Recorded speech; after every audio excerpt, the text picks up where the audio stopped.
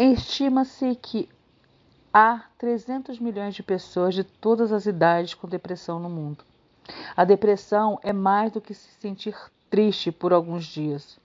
Os órgãos definem a depressão como um transtorno mental caracterizado por tristeza persistente e perda de interesse em atividades que normalmente são prazerosas, acompanhadas da incapacidade de realizar atividades diárias durante pelo menos duas semanas.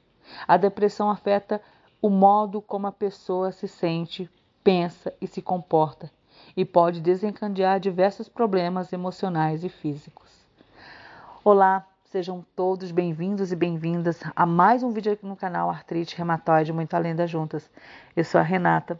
Não se esqueça de começar deixando o seu like, se inscrevendo se não é inscrito no canal e não se esqueça também de comentar, compartilhar e seguir nossas redes sociais, especialmente o grupo do WhatsApp que vai estar aqui embaixo na descrição do vídeo. O transtorno depressivo pode ser leve, moderado ou grave. Na classificação leve, a depressão pode não gerar grande prejuízo ao funcionamento global da pessoa, mas pode causar dificuldades em continuar um trabalho simples e de estar em atividades sociais. Em um episódio mais grave, é mais provável que não se consiga desempenhar atividades sociais de trabalho ou até domésticos. Não existe aí uma causa única que resulte na depressão. Ela é resultado da interação de fatores sociais, psicológicos e biológicos.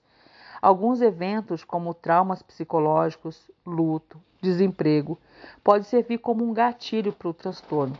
Em outras ocasiões, pode surgir aparentemente sem motivos. Há ainda uma relação entre a depressão e algumas doenças.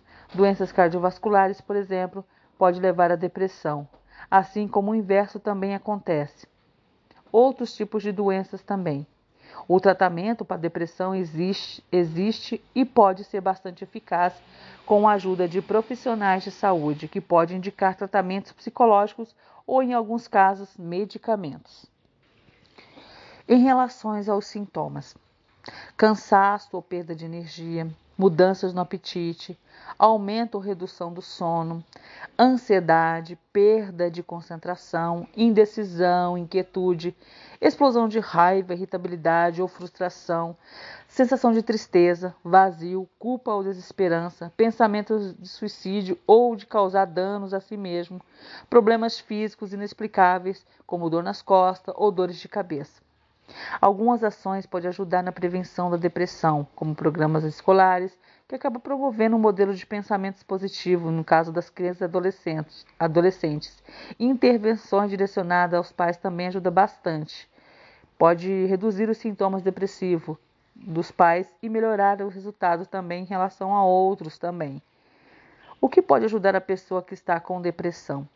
Conversar com as pessoas de confiança sobre seus sentimentos, buscar ajuda com um profissional de saúde, saber o que, o que receber, os cuidados adequados, a perspectiva de melhora, realizar as atividades que fazia quando estava bem, manter contato com a família e com os amigos, fazer exercícios regularmente, como uma caminhada, comer, dormir regularmente, aceitar o fato de que talvez tenha depressão e entender o que talvez não consiga realizar tudo que gostaria no momento evitar o consumo de álcool, procurar ajuda que se tiver pensamentos suicidas, procurar ajuda de um profissional de saúde também vai ajudar bastante. Não é fácil lidar com a depressão. Por isso que é importante você sempre procurar ajuda, ajuda médica, sempre estar conversando com seus familiares, seja o pai, a mãe, a irmã, seja um amigo, enfim, gente, não se isole sempre conversar com alguém, fazer um tratamento médico, conversar com o médico para saber qual é o melhor tratamento. Às vezes, no seu caso, não precisa nem de medicamento.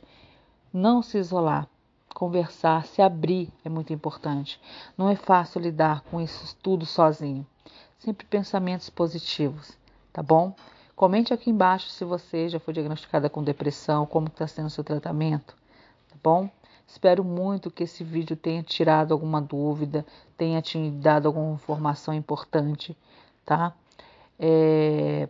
Não se esqueça também, se você está vendo a primeira vez esse vídeo, de fazer parte aqui da família Artrite Reumatoide Muito Além da Junta. A gente aborda não só é, vídeos relacionados a doenças reumáticas, mas as doenças autoimunes, as doenças crônicas, enfim, tá bom?